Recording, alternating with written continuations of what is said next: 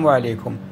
يعود مشروع مطار بوسعادة إلى الواجهة وإعادة الأشغال من جديد بعد سنوات من التأخر بسبب دائما آه، قضية نزع الملكية وللمصلحة العامة.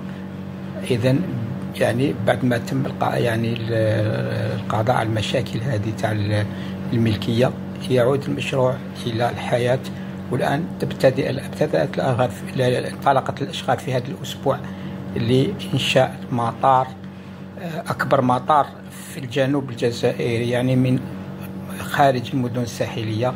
إذا واحد من أكبر المطارات في الجزائر سوف يتم إنشاؤه في مدينة بوسعادة واللي سوف أكيد يعطي قفزة اقتصادية هامة لمنطقة الهضاب. الهضاب العليا للدولة إن شاء الله نفكر في كهدف استراتيجي وهو تطوير البنى التحتية على مستوى الهضاب العليا وجعلها آه، كأقطاب آه، صناعية آه، على طول الهضاب يعني على يعني بالإضافة إلى الطريق السيار نتاع الهضاب العليا.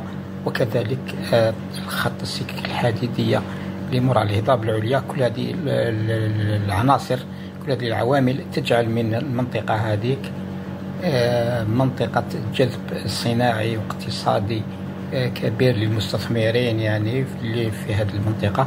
إذا إن شاء الله الأشغال هذه آه، تكمل. ما تزيش تحبس ما تزيش تحبس خلاص إلى نهايتها. وإن شاء الله نتابع سوف نتابع المشروع هذا خطوة بخطوة. نخليكم تتابعوا هذا الفيديو عن هذا الموضوع. والسلام عليكم. بعد رفع العوائق والعراقيل التي حالت دون إتمام المشروع كمشكل نزع الملكية ها هو مشروع بناء المرافق الجديدة لمطار بوسعادة يعرف انطلاقة لأشغاله من جديد.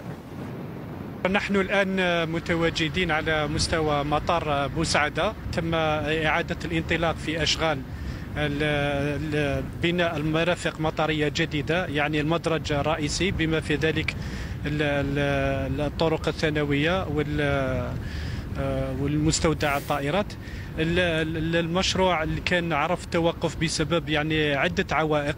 من بينها نزع الملكية وترحيل يعني السكان المتواجدين في رواق الأشغال. هذا المطار راح يعطي دفع كبير لولاية مسيلة خاصة لمنطقة بوسعادة فيما يخص الدفع المجال السياحي. وكذلك بالنسبة للمتعاملين الاقتصاديين والمستثمرين اللي راح يمكن لهم من من التنقل يعني بسهولة فيما يخص يعني سواء الأشخاص أو يعني السلع تاعهم المشروع عبارة عن تكملة لما تبقى من الأشغال وسيتم استلامه في آجاله المحددة له وهي 12 شهرا ووفقا للمعايير التقنية المعمول بها عالميا. يتمثل في بناء مرافق مطرية جديدة مدرج رئيسي على مسافة طول 3000 متر طولي وعرض 45 متر كذلك يحتوي على طريقي تدريج طائرات طريق رقم واحد ومميزات وكاركترستيك الخصائص تاعو آه، بطول 3145 متر وعرض 45 متر كذلك وطريق تدريج طائرات رقم اثنين بطول 1352 وعرض 45 متر كذلك. بالإضافة إلى مستودع الطائرات آه، مميزاته كذلك 110 آه، متر على 100 متر بسعة أربع طائرات بوينغ 737 مطار بوسعادة بمرافقه المتعددة والعصرية. سيعطي لمدينة بوسعادة بعد إتمامه بعدا اقتصاديا وتنمويا هاما.